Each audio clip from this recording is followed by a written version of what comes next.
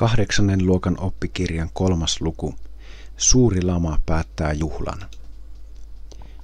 Väliotsikko. Yhdysvaltain pörssiromahdus. Maailmansodan jälkeinen nousukausi päättyi yllättäen. Kun sodan aikana Yhdysvalloille velkaantuneet maat maksoivat velkojaan takaisin, Yhdysvallat vaurastui. Pankit tarjosivat edullisia lainoja sekä yrityksille että yksityisille ihmisille – kun teollisuudella meni hyvin, yritysten osakkeiden arvo kohosi. Nyt myös tavalliset palkansaajat ryhtyivät sijoittamaan osakemarkkinoille, jolloin osakkeiden arvo entisestään nousi. Syntyi niin sanottu pörssikupla, eli osakkeiden arvo kohosi niin, ettei se enää vastannut yritysten todellista arvoa. New Yorkin pörssi Wall Streetillä oli osakekaupan keskus – Lokakuussa 1929 pörssikurssit alkoivat voimakkaasti laskea, eli nähtiin niin sanottu pörssiromahdus. Hintojen laskiessa osakkeiden omistajat pyrkivät myymään osakkeitaan, jolloin niiden hinta laski entisestään. Ongelma paisui, kun pankit halusivat lainaamansa rahat takaisin. Osakkeiden arvon romahdettua osakkeiden omistajilla ei ollut varamaksoja maksaa lainojaan takaisin. Samalla tavoin kävi myös yrityksille myönnetyille lainoille. Tavaroiden kysynnän tippuessa yritysten myynti laski, jolloin ne eivät voineet maksaa lainojaan ja joutuivat irtisanomaan työntekijöitään. Kasvava työttömyys vähensi kysyntää entisestään. Yritysten tuotanto putosi jopa 47 prosenttia ja työttömyys kohosi jopa 20 prosenttiin. Tilannetta synkensi vielä olematon sosiaaliturva, jolloin työttömyys tarkoitti usein myös nälkää ja asunnottomuutta.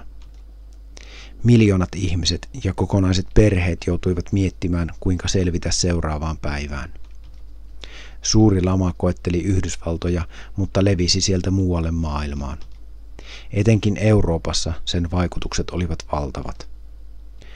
Varsinkin Saksa kärsi laman aiheuttamasta massatyöttömyydestä, mikä auttoi osaltaan Hitleriä valtaan.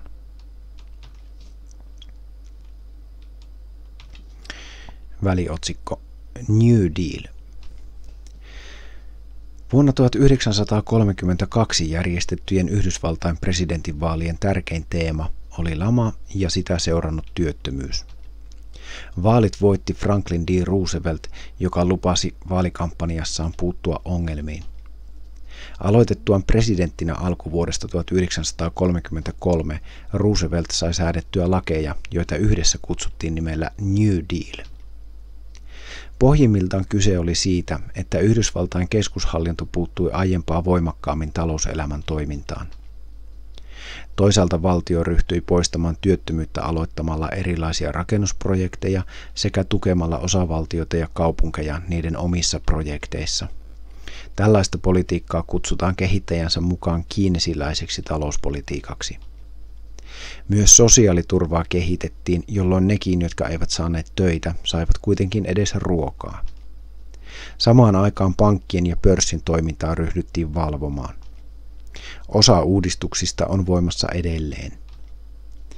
Vaikka jotkut taloustieteilijät ovatkin sitä mieltä, että New Deal jopa hidasti Yhdysvaltain toipumista lamasta, kansalaiset kannattivat politiikkaa laajalti. Rooseveltista tuli tavattoman suosittu ja hänet valittiin neljä kertaa presidentiksi, mikä on ennätys Yhdysvaltain historiassa.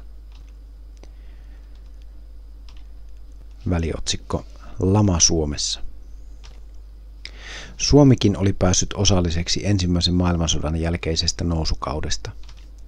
Metsäteollisuus säilyi Suomen tärkeimpänä teollisuuden alana. Etenkin paperiteollisuus toi rahaa Suomeen. Kokonaisuutena 1920- ja 1930-lukuja Suomessa leimasi voimakas kasvu. Uusia teollisuuslaitoksia avattiin, maanteita rakennettiin ja puhelin- ja sähköverkkoa kehitettiin syntyipä Suomeen jo vuonna 1923 ensimmäinen lentoyhtiö nimeltään Aero. Myös elokuvat ja jatsmusiikki levisivät Suomeen, vaikka varsinainen iloinen 20-luku jäikin suurimpiin kaupunkeihin, kuten Helsinki ja Viipuri. Maaseudulla iloittiin rauhallisemmista oloista ja noina vuosikymmeninä vallinneen lämpimän ajanjakson tuomista hyvistä sadoista.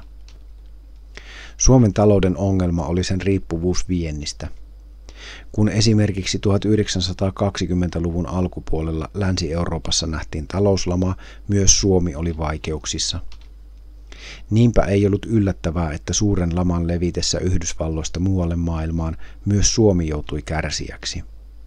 Työttömyys kasvoi ja aiheutti ongelmia. Etenkin äärioikeista nosti kannatustaan. Kuitenkaan lama ei saavuttanut meillä samoja mittasuhteita kuin vaikkapa Saksassa tai Yhdysvalloissa. Sekä tuotannon lasku että työttömyys jäivät pienemmiksi kuin noissa maissa. Osaltaan tässä auttoi se, että Suomen tärkein vientimaa oli Iso-Britannia, joka myös selvisi lamasta vähemmällä. Samoin se, että Suomi oli vielä tuolloinkin maatalousvaltio. Maanviljelijät tuottivat elintarvikkeita perheilleen, ostivat ulkopuoliset niitä tai eivät. Kappaleen teksti päättyy. Kuva 1. Kuvassa osakevälittäjiä Wall Streetillä vuonna 1920. Tavalliset piensijoittajat asioivat tällaisten curb brokerien kanssa, jotka välittivät heidän toimeksiantojaan varsinaisessa pörssisalissa. Osa tämän tyyppisistä välittäjistä oli aiheuttamassa pörssiromahdusta, koska he suosittelivat asiakkailleen sangen epävarmoja ja epämääräisiä osakkeita. Kuvan lähde, kongressin kirjaston kokoelmat. Kuva 2. Oheinen kuvaaja kertoo työttömien määrän kehittymisestä vuosina 1929-38 eri maissa. Kuten huomataan, Yhdysvallat kärsi työttömyydestä pidempään kuin verrokkivaltiot. Kuvaaja Jussi Kämäräinen. Kuva 3. Työttömät jonottavat ruoka-apua Chicagossa vuonna 1931. Tällaiset ilmaista ruokaa tarjoavat hätäapukeittiöt olivat tuttu näky Yhdysvalloissa suuren laman aikana ja tarjosivat monelle päivän ainoan ruoan. Kuvan lähde Wikipedia. Kuva 3. Myös Suomessa jouduttiin järjestämään hätäapua työttömille. Kuvassa suomalaista ruoanjakelua työttömille vuodelta 1932. Kuvan lähde finna.fi, museoviraston muskettikokoelma. Kappale kolme päättyy.